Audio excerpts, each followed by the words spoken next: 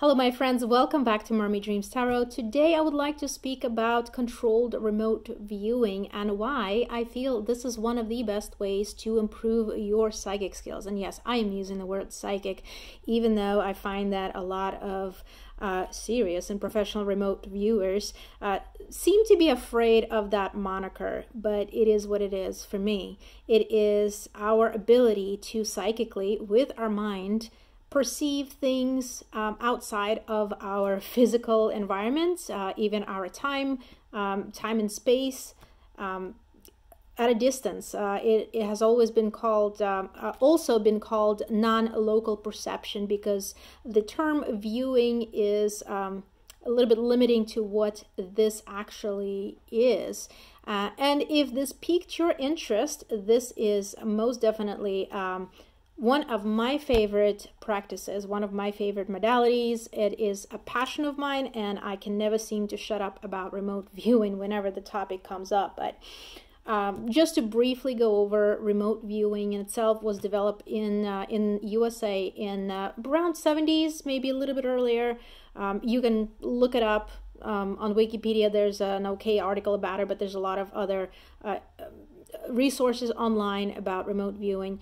Uh, so it was developed in the California Institute, uh, Stanford Research Institute, and then later in the 70s got picked up by, of all places, U.S. Army. Yep, and so the government invested in uh, using remote viewing as means to, and this has been declassified and uh, since then been publicized the methods for about 20 years.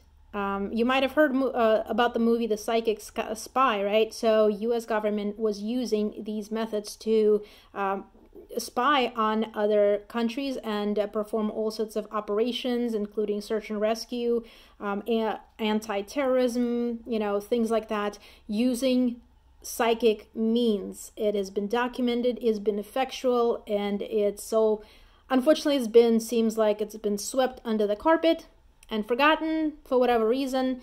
Um, whatever. I'm not going to get into the politics of it. What i know is that this is one of the best for me especially control i'm talking about control remote viewing. Controlled remote viewing is the type of remote viewing that has very specific set of rigid protocols that you follow when you do what's called a session. Um, that is when you actually view whatever is that you're supposed to perceive whatever you're supposed to be perceiving. And uh, there is a very good reason for using this protocol because it allows you to occupy your logical mind, your, thinking brain with following a set of rules and be very specific where you can write, how you can write it, what kind of language you can use, what kind of things you can put on a paper, while your intuition is free to deliver information to you. And this division of labor really works for me. But there are a lot of other ways to remote view, and there are debates on what actually remote viewing is, what it isn't. Um, it seems to invite some drama occasionally now and then, and I stay away from it. I really couldn't care less what is remote viewing, what not. As long as it gives you the results, as long as it makes you better, as long as it brings something of value into your life. And if you are somebody who relies on remote viewing um, as your profession. Um, if you, let's because it has been used in law enforcement and other areas to assist um, professionals with their tasks. Um, as long as it gives you results, I really don't care what you use. But I enjoy controlled remote viewing. I feel like for me, the discipline of it really works. And the reason I feel it's one of the best ways to improve your psychic skills, your intuitive skills, your clairs, all your clairs, is because it uses all of them in one session. It is built on you being utilizing your clairvoyance, your clairaudience, your clairgustance, um, your impressions of emotional, physical. So it's a full being kind of experience in one. And at the end of the day, uh, at the end of the session, you should have a written record. And I will show you a sample session here. You should have a written record of what you received, how you received, and not only there's hopefully a feedback, which means at the end of the session you find out what the what the thing, what the target um, in terms of remote viewing, whatever you're viewing is called a target. So at the end of the session, hopefully you have a feedback on your target when it's revealed what is it that you're supposed to be perceiving so that you can see where what you got accurate, what you did not get accurate, because that is something that is very crucial in order to um, to knowing um, how to get better. The idea here is to practice regularly and focus on the things that you got correctly because I can tell you there's going to be a lot of things you're going to get incorrect and that is all right. We ignore that, but we take what we did get accurate and you your mind will be blown if you give yourself a chance to try it out. I guarantee you, I guarantee you, your life will never be the same. It is a gateway skill to uh, opening up a lot of other things. It did for me. It changed my life. I was not supposedly psychic right before I discovered remote viewing. But what we do is we focus on utilizing all of our clairs during one session. So it's like a workout.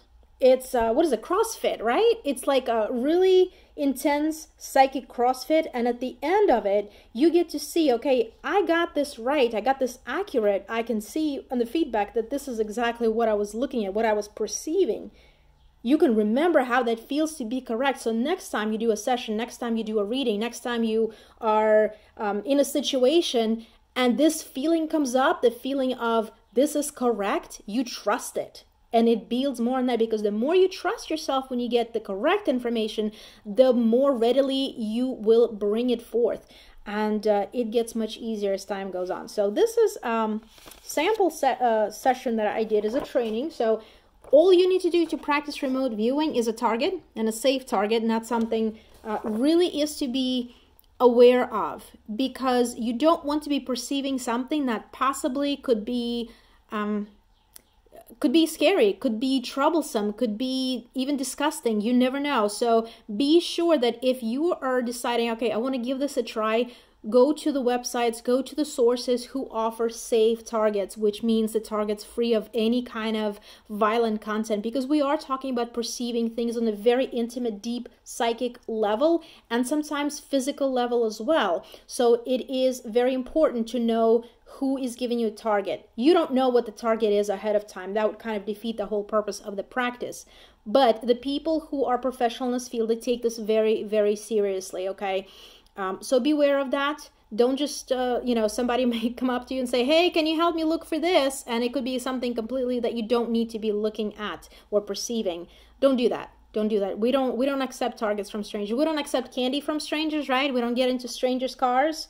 Uh, unless they're Uber. it's a weird world. And we don't accept targets from strangers, okay? Even I wouldn't do that. I only accept targets from uh, trusted sources, trusted friends, and professionals. So this is a all you need to do need is your mind, some space, some paper, clear printing papers I use, and a pen, pencil, whatever. I prefer to use traditionally a black pen um, is used so that I don't know, it's just is. It's the army, you know, developed this protocol, so whatever. They they like things a certain way and that's what I, that's what I do.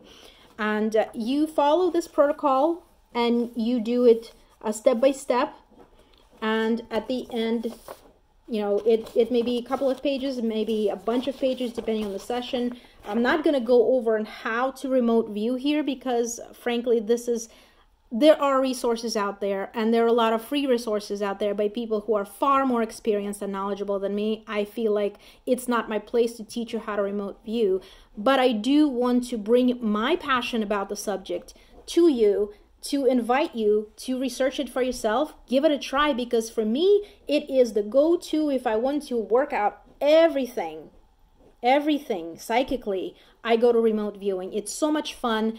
It is a way to experience the world, um, certain things in it, events, the past, the future, on such an intimate level that you really understand that Time really does not matter. Distance does not matter. Separation does not matter. Everything exists in this and now at the same time. And we only need to allow ourselves that moment of quiet acceptance and let it come to you because you don't need to force it. That's the thing is that's the beauty of this practice is that it's so easy to start, it's so easy to do it, even though it takes many, many years, if not lifetime, to master it. And that's why it's been, I think, called the martial art of psychic skills. It is easy to start, it's easy to try it. It's easy to get instant results, but if you're interested enough, it will keep your interest for years to come because you will always find new ways to connect with the information and discover within yourself the depth and the connectedness to everything. And that's what I love. And then you discover other things that you may have not even realized possible when uh, the first time I've perceived a plant and perceived not just the plant, but the being of that plant, but the emotions of that being that we call plant. I was astonished, and my life has never been the same. I've never looked at plants the same again because I felt it. It's undeniable.